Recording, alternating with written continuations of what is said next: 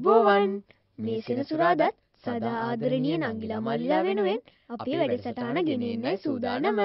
ගියවතායේ බොහොම ප්‍රතිචාර අපිට ලැබුණා. මට වැඩියම ප්‍රතිචාර ලැබුණේ ගෙවල් වලින් අපේ නරඹණ්ඩන්ගෙන්. මට වැඩිම ප්‍රතිචාරයක් ලැබුණේ පාසල් යන අපේ අයගෙන්. හුඟක් අය පිස්සු පූසමා මගේ යාළුවෝ. එයාව හොඳට අඳුරනවා. සමහරු කිව්වා අපි දෙන්න ඒ කිව්වේ නිවේදකයෝ දෙන්න ගිරව් වගේ කියව වැඩිලු. ඇත්තටම අපි දෙන්න කියෙව්වේ නෑනේ ටොමියෝ. සමහර රූපවාහිනී වැඩසටහන් වල හැටියට හරි විවේචන බාර ගන්න ඕනේ. ඒවට හරිනම් ගරු කරන්න ඕනේ. අපේ ආච්චිත් නිතරම කියනවා පූජාච පූජනීයානම් කියලා. එයා හොඳට බණ දන්නවා. අපේ සීයා පන්සිලුත් ගන්නවා ටීවී එක බලාගෙන හරි. නැත්තම් රේඩියෝ එක අහගෙන හරි. හැබැයි කිටියෝ හැබැයි කිව්වේ ඒ මොකද ටොමි? මං මේ බැලුවේ සීයා ළඟපාතක ඉන්නවද කියලා. මේ ටීවී මැදිරි වලට අපිව ගත්තට ඔයාගේ සීයව ගන්නෙ නෑ. නෑ මං කිව්වේ අපේ සීයා පන්සිල් ගත්තට මස් දැක්කොත් ඉවරයි. සිල් කැඩෙනවා. මේ ඇහුවට තරහ වෙන්න එපා. ඔයාගේ සීයා ගැනම දර මස් ලී නැතියට බලුලෙව කන්නේ කියලා කියන්නේ. නෑ නෑ නෑ නෑ. ඒ අපේ මුත්තා ගැන. එයා හිටියේ හෝටලයක් ළඟ. ඒකටනේ මිනිස්සු කටුත් කනවලු. හරි. අද මම මුලින්ම කැමති අපේ ආහා හරියාව නැව සම්බන්ධ කරගන්න. අයිබෝවන් මම මේ ඔබාම තන්න ලයිට් කනුවක් යට ඉඳගෙන. බලන්නකො උඩ මේ ලයිට් එක අද උදේ නම්ම පත්තු වෙනවා. බල ශක්තිය රැක ගන්න ඕන කාලේ මේක. හරිම අපරාධයක්. මේකට දුක් විඳින්න වෙන්නේ අපිටමයි අපේ පොඩිත්ත මේක පාඩමකට ගන්න. නිවසේ පාසලේ විදුලි බලය අර පිරිමහගෙන වැඩ කරන්න. ඒක ඊටාම වටිනා කාලෝචිත අවවාදයක්. අපිට හිතවත් නංගිලා මල්ලිලා හැමෝම විදුලි බලය සුරකින්න ඕනේ. හොඳයි යාළුවනේ. මං මුලින්ම ප්‍රශ්නයක් අහනවා රූපවාහිනී ඉස්සරහා ඉඳගෙන බලන නංගිලා මල්ලිලා අර්ථ උස්සලා උත්තරේ දෙන්න ඕන. ඕගොල්ලෝ ලෑස්තිද? ලෑස්තිනේ. පිරුණු කලේ දිය නොසැලේ. කටුස්සගේ කරේ රත්තරම් බැන්දා වගේ. පල නොකියා පලා බෙදනවා වගේ. ඉවසීමෙන් සැනසීම ලැබේ. පනින්ට පෙර සිතා බලනු මේවට කියන පොදු නම මොකද්ද? ඔව් මට පේනවා. අර අර අර අත උස්සගෙන ඉන්න පුංචි මල්ලිය. හොඳයි. මොකද්ද උත්තරේ? මේ අපිටත් උත්තර දෙන්න පුළුවන් හරියාව. ඇයි බැරි? මේක කාටත් විවෘතයි. හැබැයි පනින්ට පෙර සිතා බලනු. මේවට කියන්නේ ප්‍රස්ථා පිරුණු කියලා. හරියට හරි. ටොමීටත් ලකුණු දහයයි කිටිටත් ලකුණු දහයයි. වැඩසටහන් අරබන ඕගොල්ල හැමෝටමත් ලකුණු දහය බැගින් හරි හාවෝ අපි මේ මැදිරී නම් බාධා කරනවා නෙමෙයි. ඇත්තටම අද කුමරගී නැද්ද? ඇයි නැත්තේ? ඔන්න මේ ගිය සතිය ගීතයම තමයි නැවත ඉදිරිපත් කරන්න කඩපාඩම් කර ගැනීමට හරිනේ දැන් අපි කුමර ගී බලමු මාරතුංග මුනිදාස මහ පඬිතුමා කවියෙක් පමණක් නොවෙයි වියරණ ඇදුරෙක් පමණක් නොවෙයි එතුමා බොහොම ගැඹුරු චින්තකයෙක්. ඒ නිසා මේ ළමයිට වුණත් මල් බස් කියන මේ පැති පෙළ ලිව්වහම පොඩි පොඩි ප්‍රහේලිකා ටිකක් මේ කවි පෙළ තුළට දැම්මා. ඔන්න මම මේ ප්‍රහේලිකා දෙක තුනක් මේ දරුවන්ට තේරුම් ගන්න විස්තර කරලා දෙන්නම්. මේ බලන්න නොඑන පිණිස ලකුණක් ලෙස මේ වද ගස පා මල් රැස. එන්ඩ එපයි කියන වගේලු මේ වද ගහ. මේ වදමස් වද මල් මොන පාට තද රතු රතු පාට උනහම ඒක අනතුරු ඇඟවීමේ ලකුණක්නේ. ඉතින් කුමාරතුන්ගයන් මෙතන පොඩි ප්‍රහේලිකාවක් දැම්ම රතු පාටයි කියලා කියන්න නැතුව මේ වදගහ දිහා බැලුවහම අපිට හිඟෙනවල් හැඟෙනවලු මේ වදගහ කියනවලු ඔන්න එන්න එපයි කියලා. ඒකෙන් තේරුම් ගන්න ඕනේ මොකද්ද? වදමල් තද රතු පාටයි කියලා. මහා පුදුමේකි මලක මලකි නැහැ එහි සකි සමනලයකි. ප්‍රහේලිකාව කියලා උත්තරයක් කිව්වා. මොකද්ද මේ කියන්නේ? මලක් උඩට සමනලයක් වහලා. සමනලයක් කොච්චර වර්ණවත්ද කිව්වොත් තවත් පලක් වගේ. ඉතින් මේ පාසලට එන කුඩා දැරියක් හිතනවා අනේ මේ මලක් උඩ තවත් මලක් නේ කියලා. ඉතින් ඒ ප්‍රහේලිකාව කුමාරතුන්ගයන්ම විසඳනවා ගුරුවරිය වෙන්න ඇති. නැහැ එහි සකි නෑ යාළුවා. එතන මලක් නෙවෙයි මලක් උඩ මලක් නොවෙයි ඒ ඉන්නේ සමනලෙක්. එතකොට බලන්න මලක් මෙහෙම කෙඳිරි ගෑම නෑ සිමි මම කාලෙක කිසිම. ඔන්න මලක් කෙඳිරි ගානවලු. කුඩා නංගි කෙනෙක් කියනවා. ඒ මොකද මල තුලට මී මැස්සෙක් ගිහිල්ලා. කොයි වගේද ළඟ පාසල ඔය ළඟම පාසලක් තියෙනවනේ. නිසා මෙ මල මතුරාත්වල උගනී බල. ඔය පාසලේ ඉන්න ළමයි කවි කියනකොට සින්දු කියනකොට මල අහගෙන ඉන්නවලු. මලත් මේවා ඉගෙනගෙන. මල ඔන්න මතුර මතුර සින්දු කියනවා වගේලු. එහෙම නෙමෙයි මල ඇතුළට මී මැස්සෙක් ගිහිල්ලා රුං රුං රාදේ නගිනකොට මේ කුඩා දැරිය හිතනවා මලක් කිඳිරි ගන්නවා කියලා. ළඟ පාසල නිසා අකුරු ඉගෙනගෙන ඔන්න සින්දු කියනොයි කියලා. මේ වගේ රසවත් ප්‍රහෙලිකාත් කුමාරතුංග මුනිදාස මහ පඬිතුමා මේ ගීය තුළට ඇතුල් කරලා තියෙනවා. මේ ගී අහලා රස විඳින මේ දූල පුතාලත් කුමාරතුංග මුනිදාස මහ පඬිතුමාගේ ළමා පොත් රස අරන් හදාරා බලන්නට ඕනේ.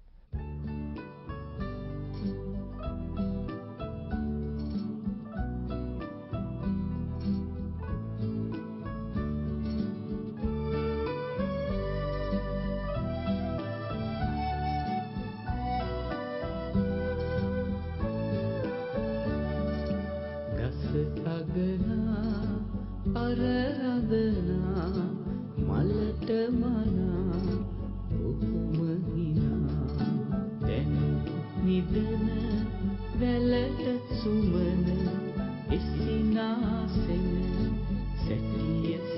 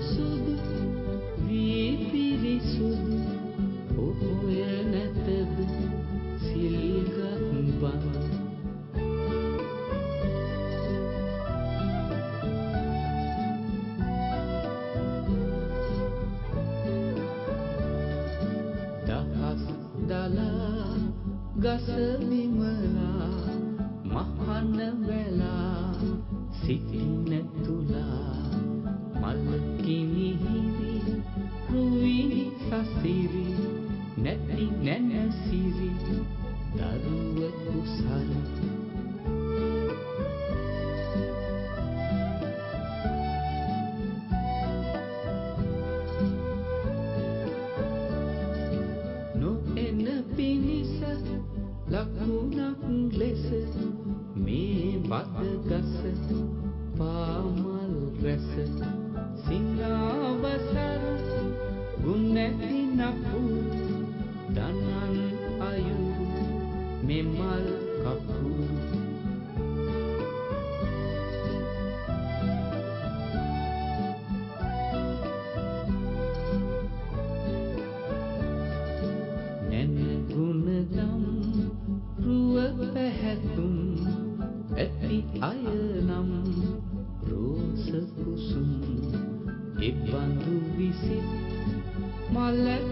පසත් රෝස ගසෙත් කතු පෙළි ඇත්.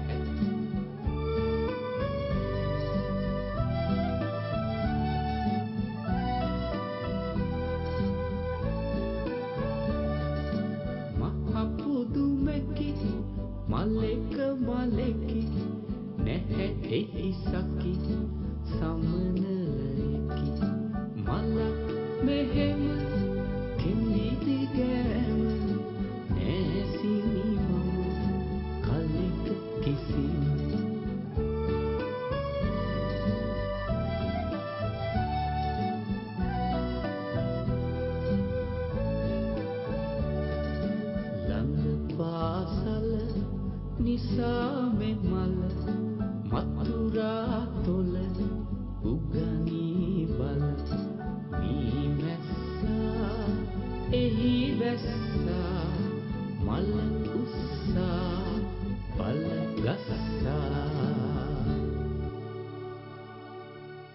අපේ නංගිල මල්ලිලා අයියලක් කලා මේ ගීත හොඳින් දැන හැඳින ගන්න ඕනේ. හරිහාව අපිට හොඳ දේ තමයි හැම දාම දෙන්නේ. මං අහලා තියෙනවා ලස්සන ගීතයක්. මං කැමති ඒක අපේ යාළුවන්ටත් අහන්න සලස්වන්න. හොඳ දේ හොඳයි හොඳ දේ අහන අයත් හොඳයි. එහෙනම් අපි අහමු. ඇහුණ නේද? හිටියොත් හොඳට හැදී දෙවියොත් නමට වඳී. මේක උගොලොන්ට විතර නෙවෙයි අපේ පූස් පරම්පරාවටත් ආදර්ශයක් අපේ ඇයන්ගේ හොඳ පුරුදු තියෙනවා ඕගොල්ලන්ටත් ආදර්ශයට ගත යුතු. අපි බුලත් කාලා තැනතැන කෙළ ගහන්නේ නෑ. අපි දුම්පානය කරන්නේ නෑ අපි බොරු කියන්නේ නෑ. අපි පෙත්සං කැලෑ පත්තර ගහන්නේ නෑ මේ මං මෙතන බලාගෙන ඉන්නවා ඔගොල්ලෝ ඕගොල්ලන්ගේ වර්ණනාව ඇත්තමයි අපිට ගුරුතුමාව අමතක වුණා. අනේ සමාවෙන්න අපි මිනිස්සුන්ගේ අපේ වෙනස්කම් ගැන සංසන්ධනය කළා. ඔගොල්ලෝ සංසන්ධනය කර කර ඉන්න. මම වෙන චැනල් එකකට යනවා. ඕකන වැරද්ද? අතනින් තරාවෙලා මෙතෙන්ට ආපහු වෙන තැනකට. නෑ නෑ. අපේ ගුරුතුමා තරහට කිව්වට එහෙම කරන්නේ නෑ. හොඳයි. ඔබතුමාගේ ගනිත විනෝදී ඉදිරිපත් කරන්නකෝ. අයිබෝවන් මමද කියලා දෙන්නේ අලුත් ගනිත සෙල්ලමක්. ඔක්කොමල පෑනකුයි කොලයකුයි අතට ගන්නකෝ.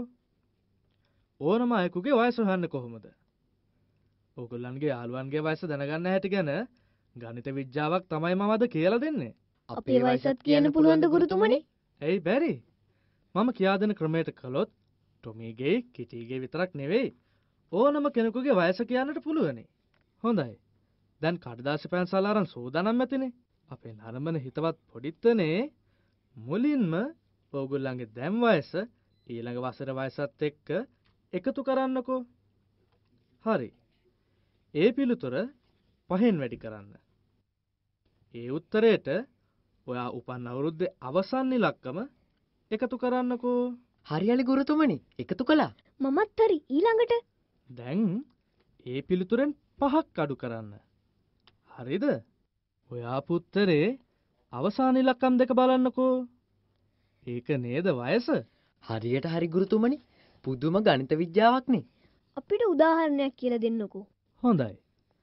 උදාහරණයක් බලමු. අපි හිතමු 1999 උපන්න කෙනෙක් කියලා. දැන් වයස 13යි. මුලින්ම දැන් වයසට ඊළඟ වසරේ වයස එකතු කරනවා. ඒ කිව්වේ 13ට 14ක් එකතු කරනවා. උත්තරේ 27යි. ඊළඟට උත්තරේ පහෙන් වැඩි කරනවා. 27 පහෙන් වැඩි කරනවා. එතකොට උත්තරේ 135යි. ඊළඟට ඒ උත්තරයට පහක් එකතු කරනවා. 135ට පහක් එකතු කරනවා. එතකොට උත්තරේ 140යි. ඊළඟට ඒ උත්තරෙන් පහක් අඩු කරනවා. 140න් පහක් අඩු කළාම උත්තරේ 135යි. දැන් බලන්න මේ උත්තරේ. මුල් ඉලක්කම් දෙක 1 සහ 3. ඒ කීවේ වයස 13යි.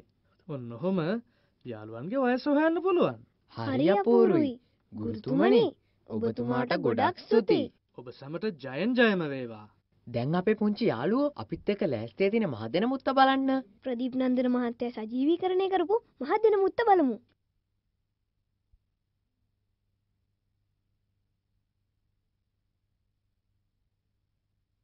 ඉතින් අපේ හිතවතුනේ අපි මේ සතියට සමුගන්නටයි සූදානම. අපි හිතනවා අපේ වැඩසටානේ හොඳ විනෝදයක් වගේම ආදර්ශයක් ලැබෙන්නේ නැති කියලා මේ හොඳයි හොඳයි පොඩ්ඩක් ඉන්න. එහෙමනම් ඔක්කොමලා කියමු අද දවසේ වැඩසටහනේ ආදර්ශය මහදෙන මුත්ත වගේ වැඩ කරන්න. හැ නෑ නෑ නෑ. ඕගොල්ලෝ හරියට වැඩසටහන බලලා නෑනේ.